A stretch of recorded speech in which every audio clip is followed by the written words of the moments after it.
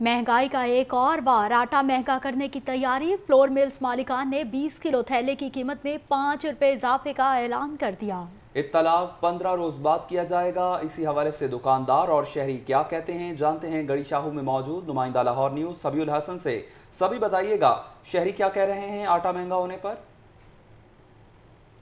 G gas, بجلی اور petrol کی قیمتوں کے بعد اب آٹے کی قیمت میں بھی اضافہ کر دیا جائے گا اور پاکستان فلور ایسوسیشن جانب سے باقاعدہ طور پر اعلان کر دیا گیا کہ بیس کلو کے تھیلے پر پانچ روپے کا اضافہ کیا جائے گا۔ کا کہنا یہ ہے پاکستان فلور مل ایسوسیشن کا کہ پٹرول کی بڑھتی ہوئی قیمتوں کی مد نظر رکھتے ہوئے یہ اضافہ کیا گیا ہے کیونکہ اخراجات جو ہیں وہ ہمارے بس سے باہر ہو چکے ہوئے ہیں۔ پٹرول کے اخراجات، ٹرانسپورٹیشن کے اخراجات جو ہیں وہ ہمارے قابو میں نہیں رہے، جس کی وجہ سے پانچ روپے کا اضافہ کیا گیا۔ گیا ہے۔ کچھ دکاندار بھی موجود ہیں۔ دکاندار سے یہ جاننے کی کوشش کرتے ہیں کہ انہوں نے کیا آٹے میں پانچ روپے کا اضافہ کر دیا یا نہیں۔ سر، یہ بتائیے گا کہ پانچ روپے کا اضافے کا کہا گیا فلور مل ایسوسیشن کی جانب سے۔ جب سر، نیا سٹاک آئے گا، پھر انشاءاللہ بڑھائیں گے۔ اگر بڑھے گا تو پھر بڑھائیں گے۔ لیکن ہمیں تک، ابھی تک گورنمنٹ سے کوئی یعنی کہ لسٹ نہیں آئی۔ نہ فلور مل والوں نے کوئی ہمیں فون وغیرہ کیا کہ آٹا بڑھ گیا۔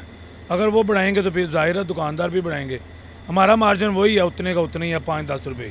جی آپ نے بات سنی کہ اگر پاکستان فلور مل ایسوسیشن اس ریٹ کو بڑھائے گی تو پھر ہی دکاندار اس ریٹ میں اضافہ کریں گے جیسے کہ آپ یہاں دکاندار کا سٹاک بھی دیکھ سکتے ہیں۔ یہ بار آٹے کا سٹاک ان کے پاس پڑا ہے۔ ان کا کہنا یہ ہے کہ جی ہمارے پاس پرانا سٹاک پڑا ہے اور وہ پرانے ریٹ پہ ہی لیا ہوا ہے تو پرانے ریٹ پہ ہی بیچیں گے۔ لیکن ابھی پرانے جو قیمت ہے اس پہ بک رہا ہے۔ جیسے ہی نیا سٹاک آئے گا تو پانچ روپے کا اضافہ کر شکریہ